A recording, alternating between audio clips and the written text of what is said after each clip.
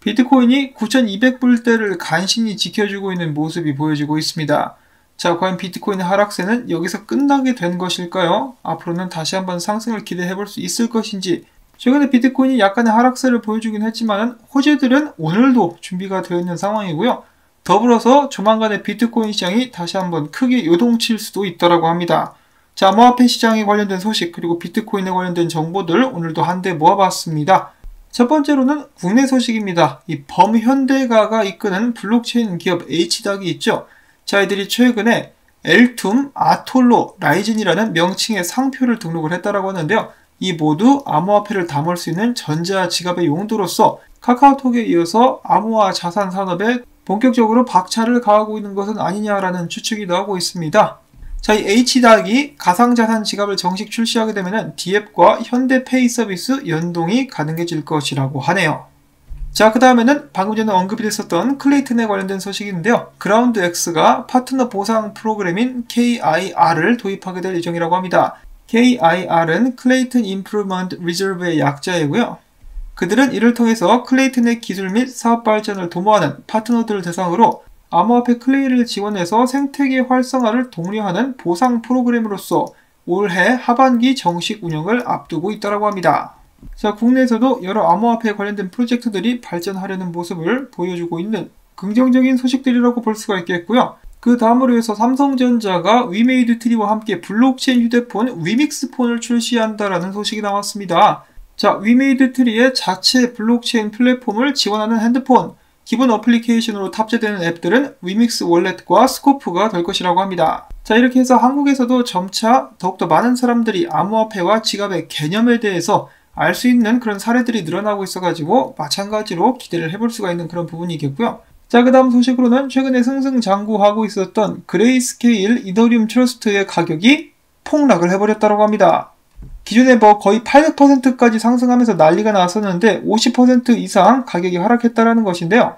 자, 그 이유가 무엇이냐? 바로 이더리움 트러스트 가격 붕괴 현상의 원인은 헤지펀드를 비롯한 적격 투자자들이 12개월간의 의무적인 거래 중단이 끝난 후 대규모로 자산을 처분했기 때문이며 이는 유동성 리스크를 의미하며 또한 개인 투자자들에게는 악재가 될 것이다 라는 설명을 남겼습니다. 이 답변은 코인 매트릭스가 하게 된 것인데요. 한마디로 이 기관 투자자들이 뻥튀기를 해가지고 수익 실현을 했다라고 볼 수가 있는 그런 부분이죠. 자, 이더리움 신탁의 가격은 떨어졌을 지연정 이더리움이 10개 이상을 보유한 이더리움 원래수는 사상 최다치를 기록을 했다라고 하는데요. 자, 이더리움 10개 하면은 어, 별거 아니다라고 생각을 할 수도 있겠지만은 이 금액적으로 계산을 해보면은 지금 현재 시세에서도 거의 한 300만원 정도가 있어야 이제 매수를 할 수가 있는 그런 가격이죠. 근데 이더리움 10개 이상을 모으는 사람들이 정말 숫자가 많이 늘어났다고 하는데 25일 기준 약 27만 6,131개 지갑 숫자가 그 정도라는 것이죠.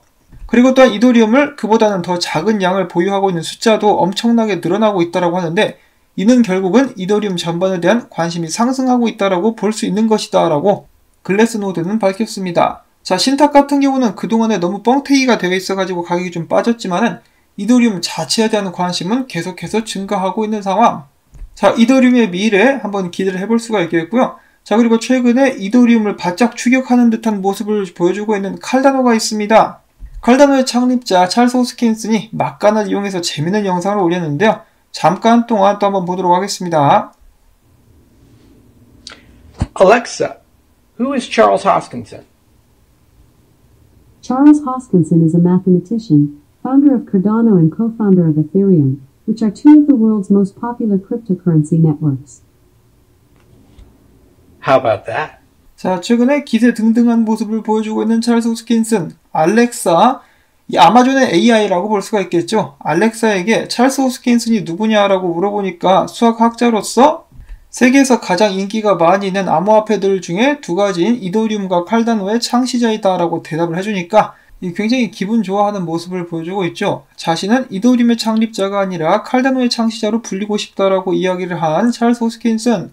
그가 원하는 만큼 칼다노가 계속해서 발전할 수 있을지 관심을 가지고 지켜보도록 하겠고요.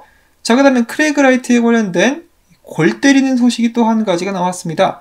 자, 크레이그 라이트는 법정 소송을 이어가면서 그동안에 조작된 증거라든지 이제 법정에서 횡설수설하는 모습 그리고 잘못된 비트코인 지갑 주소 등을 제출하는 그런 모습을 보여줬었는데요.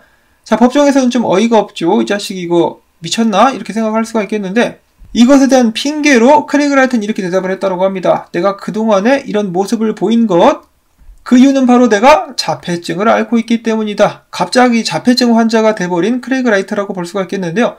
법원에서 당연히 이를 한 번에 믿을 리가 없습니다. 자폐증에 관련된 전문가를 이 법원에 출두를 시켜가지고 이 크레이그 라이트의 증언에 대한 진실 여부를 확인하게 될 것이라고 하는데요.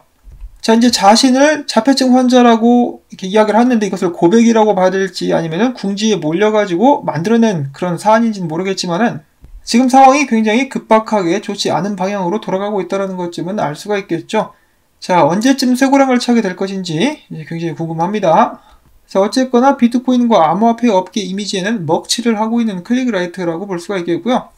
자, 그 다음엔 비트코인 소식들로 넘어가 보도록 하겠습니다. 이 전부터 많이 이야기가 되었었던 부분이긴 한데, 밀레니얼 세대들은 전통적인 자산에 대한 투자보다는 비트코인을 선호한다. 최근에 다시 한번 설문조사가 있었는데요.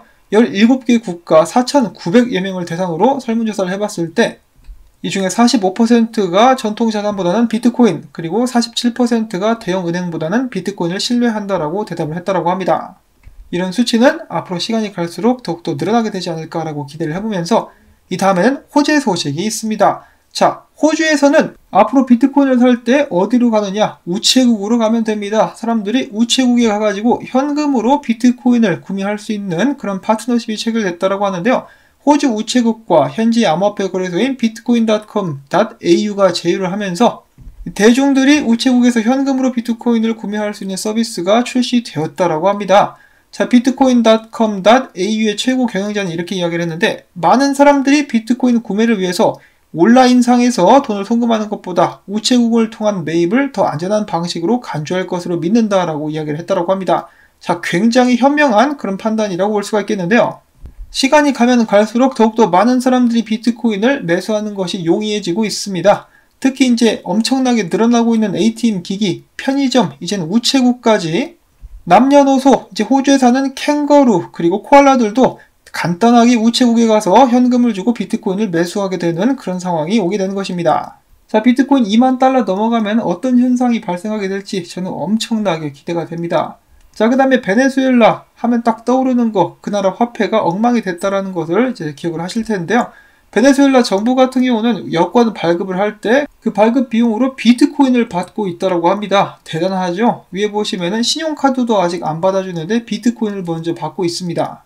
그만큼 베네수엘라 같은 경우는 정부조차도 그 나라의 법정 화폐를 버렸다라고 볼 수가 있는 것이겠죠. 자, 이들이 비트코인을 있는 그대로 받는지 아니면은 비트코인을 다시 달러로 바꾸는지는 모르겠지만은 이 정부 기관에서 이런 식으로 비트코인을 수용하고 있다라는 거 나라가 비록 베네수엘라일 지연정 그래도 좋은 소식이라고 볼 수가 있겠죠. 조만간에는 아르헨티나라든지 그 밖의 여타 국가에서도 기관에서 이런 식으로 비트코인으로 지불을 받는 그런 모습들이 나오게 되지 않을까 싶은데요. 자, 안타까운 것은 이런 과정 속에서 예, 서민들만 죽어납니다. 기존의 정부를 신뢰하고 그 나라의 화폐를 들고 있었던 서민들 정말 안타깝습니다. 자, 그 다음 역시 좀 나름 기대를 할 수 있는 그런 부분이라고 볼 수가 있겠는데요. 자, 미국이 저번에 경기 부양책으로 1200달러씩 뿌렸죠. 미국 시민들에게 뿌렸는데 실제로 그 후에 비트코인 가격 같은 경우는 58% 정도 상승을 했었다라고 합니다. 이것이 우연의 일치였는지 정말로 자금들이 비트코인에 흘러들어오게 된 것인지는 모르겠지만 아무튼 비트코인을 매수한 사람들의 숫자가 굉장히 많았었습니다. 그런데 지금 예, 두 번째 경기 부양책이 의논이 되고 있다라고 하죠. 특히나 미국의 재무장관인 스티브 문친이 나와가지고 그것에 대해서 굉장히 긍정적으로 이야기를 한 바가 있습니다. 자, 두 번째로 경기 부양책이 나오게 된다면은 다시 한번 비트코인 가격 상승을 이끌 수 있는 요인이 되지 않을까라고 많은 사람들이 기대를 하고 있고, 예, OKX의 CEO도 많이 기대를 하고 있다라고 합니다. 자, 빨리 돈 좀 더 뿌려가지고 비트코인 가격 좀 올려줬으면 좋겠고요. 자, 그 다음에는 비트코인 가격 분석에 관련된 이야기를 또 하지 않을 수가 없겠는데, 헤지펀드 밀러 밸류 파트너스의 창업자 같은 경우는 비트코인이 200달러 때부터 매수를 진행했었던 그런 사람이라고 합니다. 자, 그는 최근에 팟캐스트에서 이렇게 이야기를 했는데요. webcast라고 하네요. 여기서 나와서 이렇게 이야기를 했는데, 비트코인이 9,000달러 위 구간에서 거래되고 있기 때문에 굉장히 안전하다라는 식으로 이야기를 했다고 합니다. 자, 그런데 지금 비트코인의 상황은 그닥 좋지는 않아 보이고 무엇보다 사람들이 걱정하고 있는 것은 S&P 500 지수와 상관관계가 급속하게 올라가게 되면서 여러 암호화폐 분석가들, 이제 톤베이스 같은 경우도 S&P 500이 3,000포인트 밑으로 하락하게 되면은 비트코인도 급락하게 될 가능성이 있다라면서 우려하고 있다라고 합니다. 사실 저도 이 부분을 항상 걱정을 하고 있었습니다. 미국 증시가 계속 비트코인 머리끄댕이를 잡고 이제 왔다리 갔다리 하는 모습을 보면서 정말 안타깝다라는 생각을 했는데 비트코인 이 자식은 또 알트코인들 멱살을 또 줄줄이 잡고 있지 않겠습니까? 뭐 거의 먹이사슬 같은 그런 모습까지도 보이고 있는데 어찌 보면 굉장히 중요한 순간이라고 볼 수도 있겠죠. 지금 비트코인 호재도 많이 나오고 있는데 그렇다라고 해서 무조건 낙관도 할 수 없는 상황. 정말 신중함을 요하는 그런 투자 시기라고 볼 수가 있겠습니다. 자, 결국 9,600불대를 놓치고 마는 비트코인. 많은 분석가들은 비트코인의 추가적인 하락을 점치고 있습니다. 자, 뉴스 BTC 같은 경우는 비트코인이 9,200달러 선을 지지하지 못하면은 빠른 시일 내에 또다시 급락할 수 있다라고 하면서 9,000달러 선까지 무너지면은 당연히 8,800에서 8,500까지도 보고 있는 그런 상황이었고 데이브 더 웨이브, 이제 굉장히 유명한 암호화폐 분석가죠. 그는 비트코인이 결정적인 저항 영역을 넘지 못하면은 향후 가격이 25% 정도 떨어지면서 7,000달러 선까지 비트코인이 붕괴될 수도 있다라고 이야기를 하기도 했었습니다. 그리고 어제 조시 레이저 같은 경우도 아 이거 비트코인이 왠지 9,000달러 아래로 내려갈 것 같다라고 이야기를 했었는데 추가적으로 지금 일단 9,200불대까지 올라온 비트코인의 모습을 지금 보고 계십니다. 역 head and shoulder로서 역전극을 노려봤었던 비트코인 역 head and shoulder는 결국 상단에 막히면서 실패로 돌아갔고요. 비트코인의 3일 차트를 보시게 되면 좀 불안한 모습을 확인해 보실 수가 있겠는데 일단 이 가운데 선들 보이시죠? 이렇게 쭉쭉 선이 그어져 있는데 그때가 바로 이제 MACD상 이제 하락 크로스가 나왔을 때 그때마다 비트코인 가격이 하락하는 모습을 저희가 확인을 해볼 수가 있었는데 최근에 또 하락 크로스가 나왔죠. 이제 과거가 반복된다라면은 비트코인이 다시 한번 급락하게 될 수도 있다라는 것입니다. 그리고 RSI를 봤을 때도 지금 이 하락 채널의 상단에 머물고 있기 때문에 하락까지 떨어지게 된다라면은 바닥까지 떨어지게 된다라면은 마찬가지로 비트코인 가격도 떨어지게 될 가능성이 많이 나오게 되겠죠. 일단은 8,000불대까지 떨어질 수 있는 그런 가능성들이 보이고 있는데 잠깐 떨어졌다가 이 삼각 수렴을 깨고 위로 올라가면 얼마나 좋을까 일단은 뭐 희망사항이라고 볼 수가 있겠고요. 자, 그 다음에 조만간에 비트코인 시장에 큰 움직임이 나오게 될 수도 있다라는 기사입니다. 자, 앞으로 48시간 안에 10억 달러 상당의 금액이 비트코인 시장에 들어올 수 있다. 자, 정확히 말씀을 드리자면은 직접적인 암호화폐 매수 매도가 아니라 옵션 시장을 이야기를 하고 있는 것인데요. 바로 미결제 약정에 관한 것입니다. 자, 미국 시간으로 26일 10억 달러 상당의 계약이 만료되면서 무려 10만 개를 매수할 수 있는 이 정도 금액이 어떤 포지션을 취하느냐에 따라 가지고 비트코인의 큰 움직임을 야기할 수도 있다라고 이야기를 하고 있는 것인데요. 보통 미결제 약정 잔고가 크면은 사람들이 상승을 기대하곤 하는데 과연 어떻게 될 것인지 뭐 당연히 저는 올라가기를 바랍니다. 쭉쭉 올라갔으면 좋겠고 전 세계 사람들이 너도 나도 앞다투어서 비트를 매수하게 되는 그날이 빨리 올 수 있으면 좋겠습니다. 자, 근데 떨어진다 할지라도 이제 패닉하지 마시고 그 상황에 대한 시나리오를 정하고 잘 대처를 해야 되겠죠. 자, 그리고 마지막으로는 재밌는 짤 하나를 준비를 해봤습니다. 자, 제가 앞서서 캥거루도 코알라도 비트코인을 매수한다라고 말씀을 드렸었는데 예, 고양이가 빠질 수가 없겠죠. 비트코인 ATM 기기에 고양이가 코인을 매수하기 위해서 직접 편의점을 방문한 그런 모습이 보여지고 있습니다. 보니까 비트코인 캐시를 좋아하는 것 같죠. 자, 약삭빠른 고양이가 선택한 코인은 비트코인 캐시. 이 고양이가 익절할 수 있기를 바라보면서 오늘 영상은 또 여기서 마무리를 짓도록 하겠습니다.